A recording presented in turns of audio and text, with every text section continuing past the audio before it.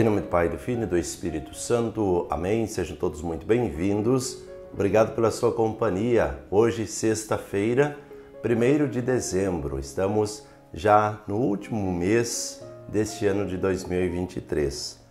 Sextas-feiras, nos colocamos diante do Sagrado Coração de Jesus. Reza comigo. Sagrado Coração de Jesus, fazei o nosso coração semelhante ao vosso. Obrigado a você que me acolhe na sua casa, onde quer que você esteja agora meditando a palavra de Deus. Fazemos sempre uma caminhada, uma caminhada bonita de evangelização, de meditação da palavra de Deus. Logo mais, no próximo domingo, já iremos dar início a um novo ano litúrgico, o tempo do Advento. Agora nós estamos meditando os evangelhos que têm esse, esse tema mais escatológico, esse tema assim mais falando do fim dos tempos, fim de uma jornada, fim de um período, que nós possamos é, analisar a nossa vida e também pensar um pouquinho o que, que nós podemos fazer agora, no hoje da nossa vida, para que nós possamos, com o tempo do advento, iniciar como que uma nova vida, um novo tempo junto com Jesus. Então vamos para a meditação da palavra. Você pode pegar também a sua Bíblia na sua casa e vamos rezar todos juntos. O Evangelho é retirado de Lucas, capítulo 21, versículos 29 até o versículo 33. E Jesus lhes contou uma parábola. Observem a figueira e todas as árvores. Quando começam a brotar, Basta olhar para elas e vocês já sabem que o verão está próximo.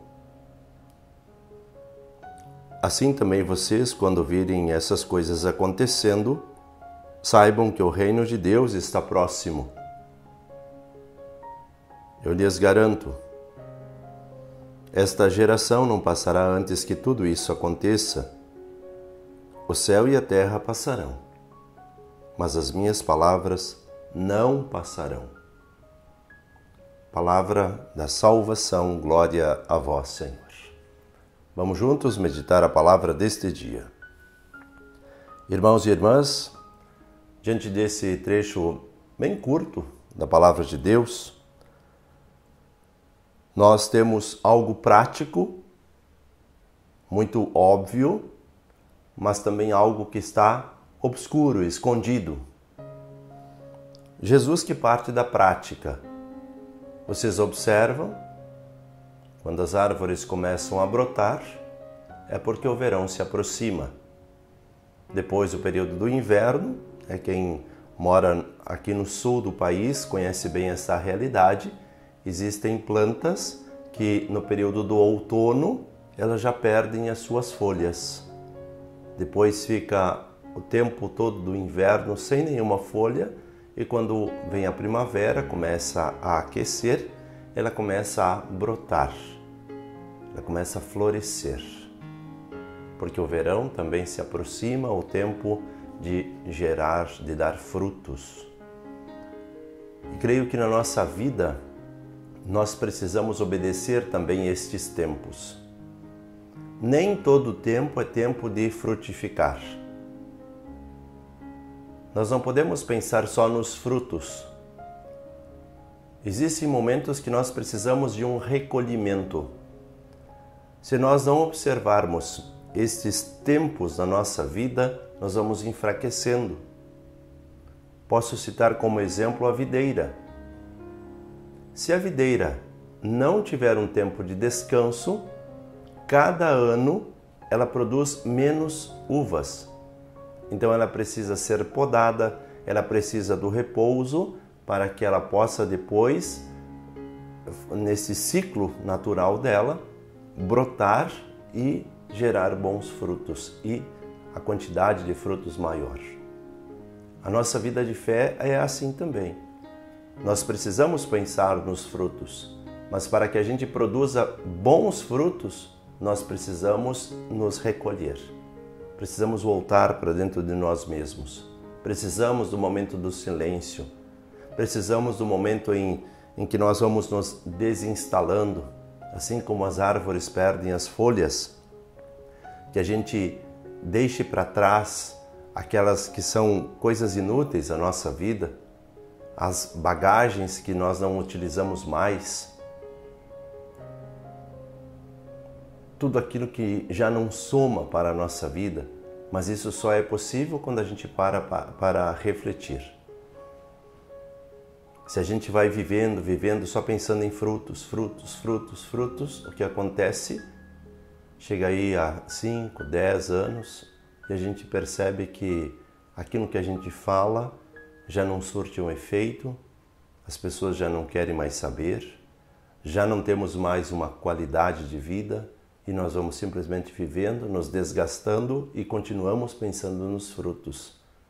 Muitas vezes é preciso pensar em parar. Não digo pensar em parar para sempre, mas há o um momento da parada. Assim como no tempo da semana, a gente trabalha cinco, seis dias na semana, mas tem o dia que nós vamos parar. É a parte do descanso, esse desligar-se dos trabalhos. Por quê? Porque senão nós vamos ficando exaustos demais e a gente não consegue mais produzir no trabalho.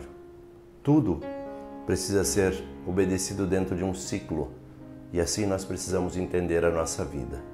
E Jesus diz aqui no Evangelho: assim como as plantas que brotam e a gente sabe que elas ah, que o verão está próximo, assim também partir da nossa oração, a partir da nossa meditação, do conhecimento da palavra de Deus, nós podemos saber agora sim o reino de Deus está próximo. Por quê? Porque houve uma preparação. Nós preparamos o nosso coração para esse grande acontecimento.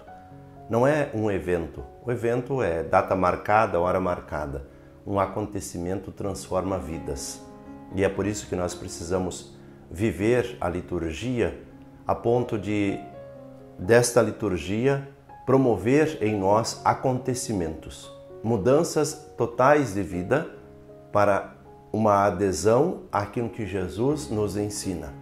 Mas não é um evento, hoje eu quero, amanhã eu não quero, mas um acontecimento. A partir de hoje eu serei assim. E o Evangelho continua dizendo: Eu lhes garanto, esta geração não passará antes que tudo aconteça. E finaliza o céu e a terra passarão, mas as minhas palavras não passarão. A palavra de Deus, como acontecimento na nossa vida, não passará, porque ela vem e transforma a nossa vida para sempre. Que assim seja. Peçamos a bênção de Deus, em nome do Pai, do Filho e do Espírito Santo. Amém. Meus irmãos e minhas irmãs, tenham todos um excelente dia e até o próximo momento de oração.